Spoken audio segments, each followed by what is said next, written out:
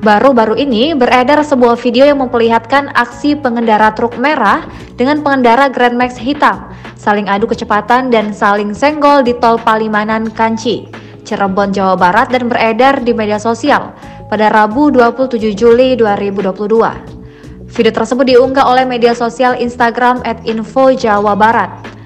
Menurut informasi yang beredar, Kejadian truk dan Grand Max ugal-ugalan di tol Pali Kanci itu tepatnya sekitar pintu keluar 214 Kanci Astana Japura.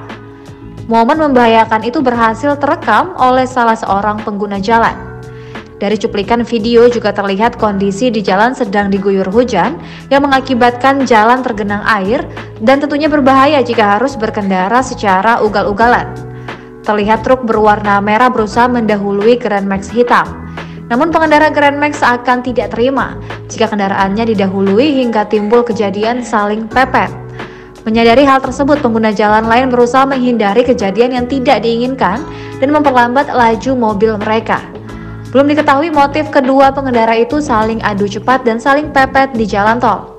Unggahan tersebut ramai dibanjiri komentar warganet. Mereka menyayangkan kejadian yang dapat membahayakan tersebut harus terjadi.